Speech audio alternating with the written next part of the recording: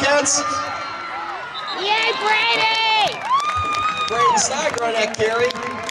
Already see him going. Brady Livingston, number one.